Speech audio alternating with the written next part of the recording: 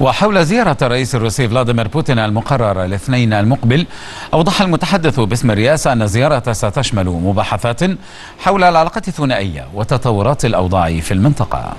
الرئيس الروسي بوتين سوف يحضر إلى مصر يوم الاثنين 11 ديسمبر. الزيارة تأتي في الإطار الثنائي بشكل أساسي. هناك العديد من الملفات المفترض طرحها على طاولة المفاوضات والمباحثات الثنائية مع السيد الرئيس وبين الجانبين أساسا الملف التجاري والاقتصادي والسياحي وملف الطاقة طبعا.